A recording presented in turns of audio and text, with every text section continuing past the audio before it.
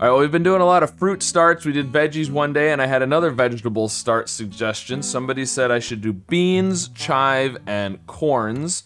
So, sure, let's keep going with the foods. Why not? Ooh, well, that was actually really good. Uh, and we found the E, and ooh, there's an, okay, so, I mean, we've got, uh, well, four of the letters for sure. Uh, I'm thinking N O because the B has to be between the O and the E, and if the N was also in there, it would have to be this, which isn't gonna work. So the N's got to be at the beginning. Noble. I think it's gonna be noble, isn't it?